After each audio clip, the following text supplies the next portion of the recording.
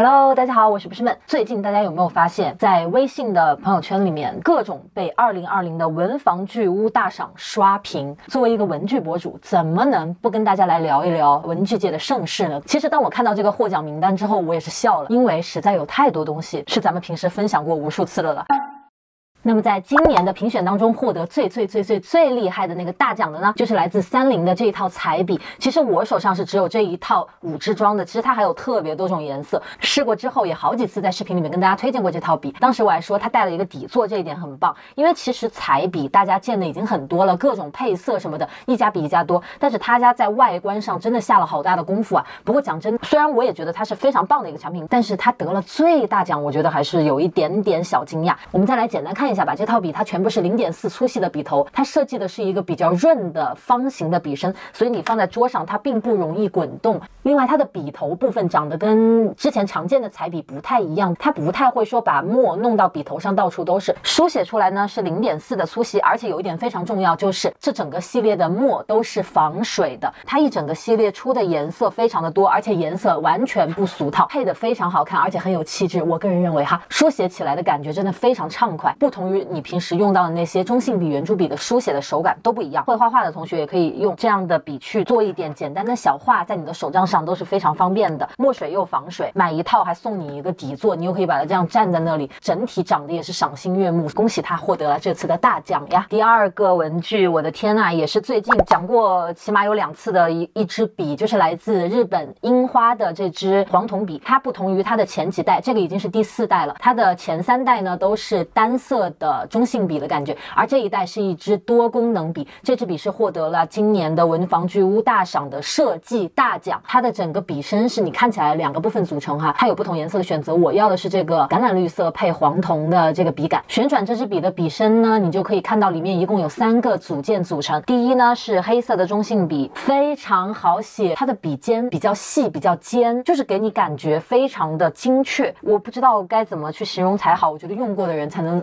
体会到我说的那个感觉。第二个组件呢是一支零点五的自动铅笔，好实用，对不对？第三个组件呢是一支红色的中性笔，对的，它就是由这样三个部分组成。不同于一般的多功能笔，可能会给你配不同颜色的一些中性笔或者圆珠笔。这个笔里面它给你配了一支铅笔，我真的觉得太实用了。不过说起来呢，这支笔真的不便宜哦。感兴趣的同学可以去某宝上面找一找。其实想要做到有不同颜色的中性笔和铅笔的组合并不需要花这么多钱才可以做到。你像一些呃三菱等等牌子的模块笔，自己选择不同的模块去组装进笔里面，你也是可以拥有自动铅笔加不同的中性笔的组合的。奈何这支笔呢，就是从内到外都比较高级，所以它的价格就是比较高一点，这样子非常名副其实获得设计大奖。好，今天要介绍的第三样呢，是获得机能奖，就是功能性尤为厉害的一款，它是来自甘美堂的一个粘贴类的文具，但是它居然长成这样子，你看起来。来它就不像是一个胶类的东西，对不对？我这个其实是我当时它还没有上市，然后去甘美堂去看他们的一个展，现场拿到的一个试用。人家现在获大奖了，我就屁颠屁颠的把它拿出来，想要试一下了。首先，甘美堂的出的任何东西，我都觉得在审美上是 very nice 的，这一款也不例外。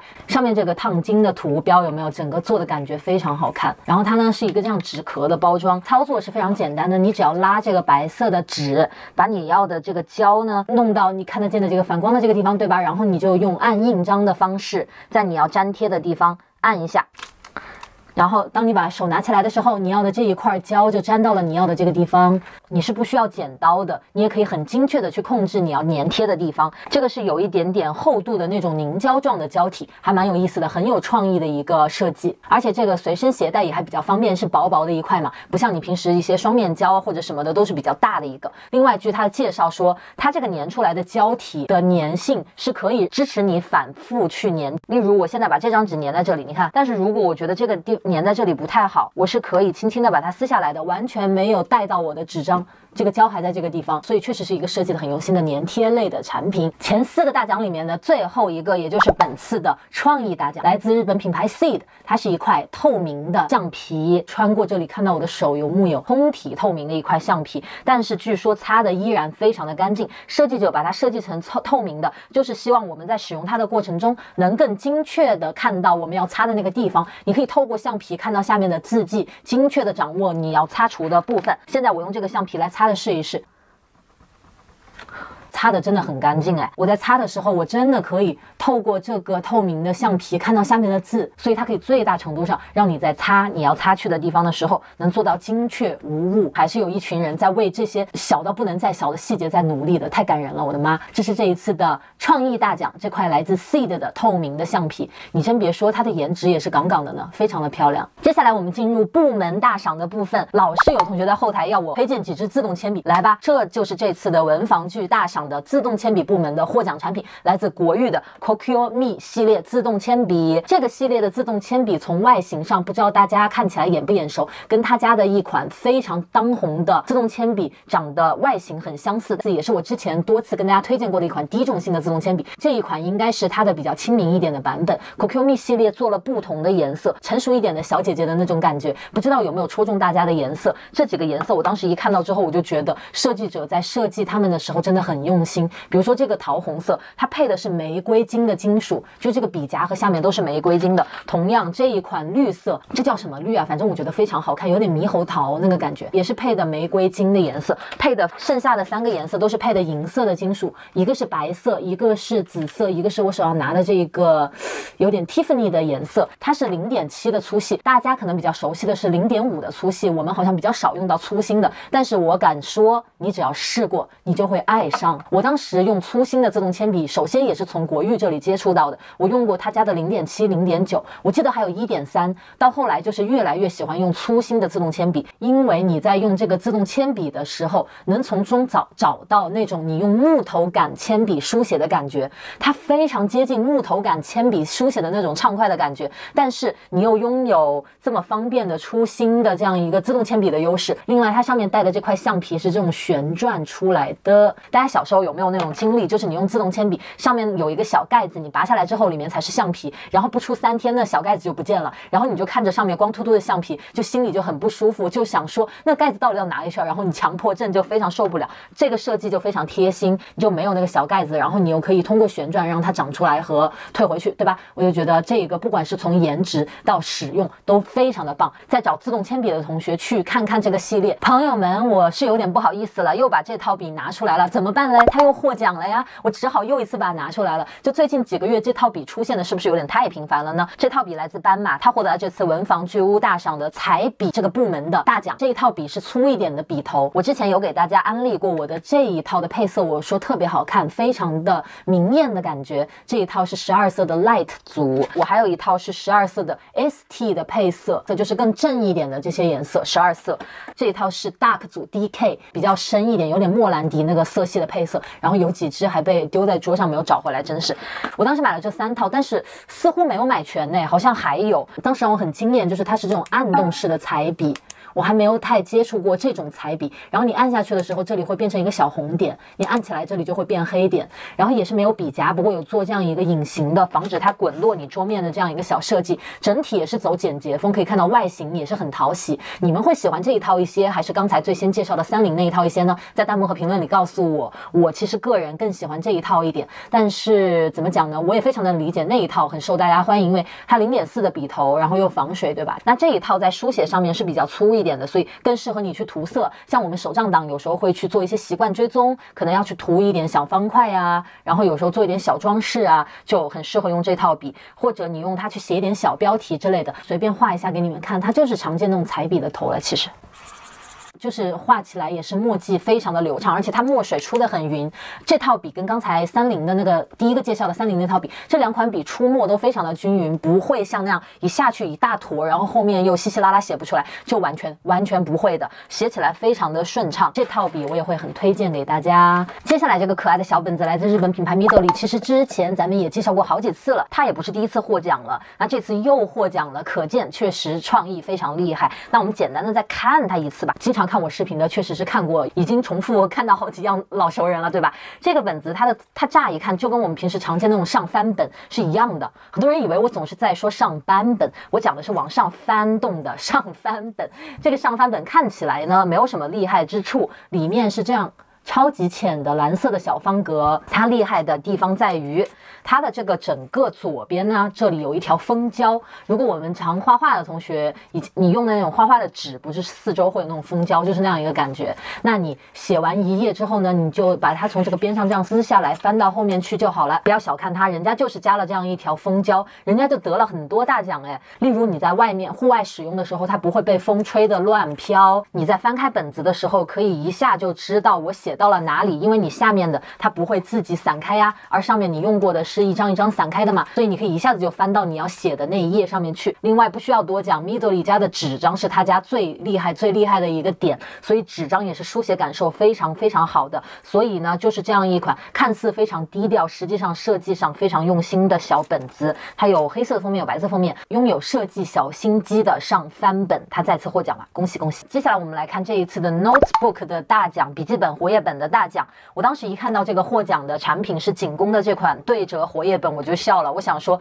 ，Of course 是它，就是怎么能不是它呢？这真的是一款神奇的产品，我不敢相信，我居然一直都没有在视频里找到机会跟大家分享这个产品。那这里呢有一个像开关一样的地方，我们拨它一下。你会发现你的本子就这样打开，然后这样打开之后，哦，这个样子就熟悉了嘛，这不就是我们常见的这个活页本嘛，对不对？你就这样使用它呀，这就正常的这样书写就好了，写写写写写，完了之后丢在包里的时候，哎，对折，占地面积减半，这是一个 A5 尺寸的活页本，就里面的内芯啊是 A5 尺寸的，但是对折之后直接秒变 A6，塞进你的小包包里面，是不是很厉害？它们是两边上面各有四个环，从中间这里对折也不会影响到它。但是你就是要注意，要用它配的这个内页去配这样一个本子。我觉得整体来讲，确实是蛮厉害的一个想法。仅供在做收纳各方面的收纳上，文件夹呀、活页呀，各种真的很厉害，很厉害。他们常有这一类的产品获奖，给他们点赞啊！设计师脑洞太大。其实呢，它这里还有给你配一个笔插，在最后面这里有一个透明的小笔插。如果我记得没错的话，这一款本子也是有很多种不同的颜色。对这个 idea 感兴趣的同学，自己去某。宝上面搜搜看好不好？哎呀，我的天呐！下一个获奖的产品是粘贴类的，来自蜻蜓的这一款 Pit。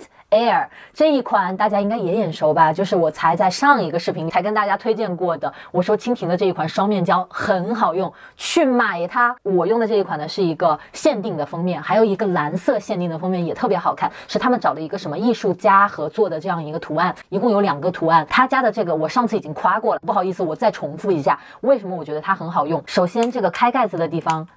你可以很明确的知道，你有把它打开，你有把它折到位。当你想要把里面的双面胶粘贴到你的纸上的时候，它非常的安静，不会发出咔嗒咔嗒的很大的声音。同时，它又隐约的发出了一个咔嗒咔嗒咔嗒的声音，让你知道你的胶正确的涂在了你要粘的地方。就我之前用过一些双面胶，我涂了之后，我还要侧着头去看一看我的胶到底粘上去没有，有没有粘的完整。但是用这一款的时候就不会，用过的人你就懂我在讲什么，你非常明确的知道你把。胶涂在了你想涂的地方。我一月最爱的文具提到这一款之后，好些同学都去买了，并且私信我说这个真的非常好用。所以同学们，明人不说暗话。买它，我说实话是没有想到它居然还有一个印章的部门大奖。但是当我看到获奖的那个产品就是我手上的这一份的时候，我真的好激动啊！我的天，就觉得太有缘分了吧！世界上那么多印章，哎，它都是文具主题的这些小图案，给大家凑近看一下，一看就写我名字啦，各种各样的文具，包括它还有手拿着笔，还有这样的一些就是像打草稿一样的线条什么的。我有时候在日程啊，我的 to do list 上面都会用这样的小图案，印出来呢是后面这个样子的。透明印章往往都是这样一个主题，就给你。一整版里面很多个图案，就比那种木头印章来的性价比要高非常多。木头印章一个就要人民币几十块钱嘛。这一版的质量很好，其实我之前不知道这个牌子，不过这一套的图案确实是很可爱，很好用就是了。它的尺寸也非常好，就这些小小的夹子什么的，你在手账上面你贴一个小素材，上面印一个夹子，非常实用。所以这一套我确实是蛮推荐的。不过我估计已经到这个部门来讲，可能真的就是文具控才会去买的吧。获大奖的这个尺我还没有开封，讲真的我都忘了我有这个尺子了。哎呀，真的是太不好意思。虽然看着很简单，但是你不得不说它是有一种美感在里面的耶，没有吗？这个实物拿着你会觉得它的品质很好，而且它贴心到什么程度？它的面上是那种透明度非常高的那种亚克力的那个质感哈，然后呢，它的背面用的是磨砂质感，这样你把它放在纸上的时候，它不容易滑，真的贴心。它最大的特色在于，你有没有看到它这里有一个槽？这条线一定是画的笔直笔直的，对吧？然后呢，你发现它两边都有刻度不说，中间还有这么多条已经给你设计好了的平行的横线，所以我完全可以把我刚才的这条线重合到其中一条横线上，重合到我尺子已有的那个横线上，再在这个凹槽里面画一条线，太方便了吧？我在很多时候其实自己在手账上画一些线，我希望它能完全平行，但是我可能就是在那里目测。你知道，有的很基础的尺子，它甚至不是透明的，很难去确保你画出来的直线一定是平行的嘛？那这个尺子就非常贴心啊！我也真的觉觉得这是一个值得拥有的文具。它的品牌叫这个，其实我之前好像还没有注意过这个牌子，大家喜欢的可以去找找看。最后呢，我居然有这次的这个获奖的标签机，我也是服了我自己了。这是来自景工的一款标签机，看看它迷你到什么程度吧。这么小一个小小的蓝白色的小盒子，真的很漂亮。这个设计超级简洁的，有没有？你里面装上电池和你需要的那个胶带之后，拿它连接你的手机上的 App，就可以打出你要的标签。我打了自己的名字，不是闷，然后我设计了旁边这个头像，这个就是它的 App 的主界面。你可以看到它里面的这个纸啊，可以选择有不同的颜色，还有不同的。设计还有那种合纸的，所以打出来呢会有不同的效果。我现在开机了，这个灯亮了。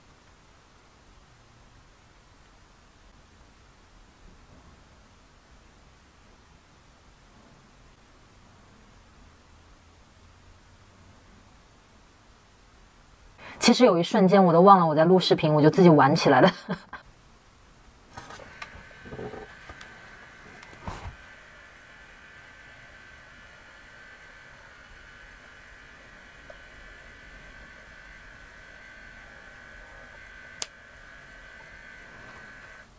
好长哦，这次制作的就按这个剪刀的这个按键，哒哒拿出来了。大家好，哈哈哈。然后今天的日期，然后我刚才做的这个女孩的头像。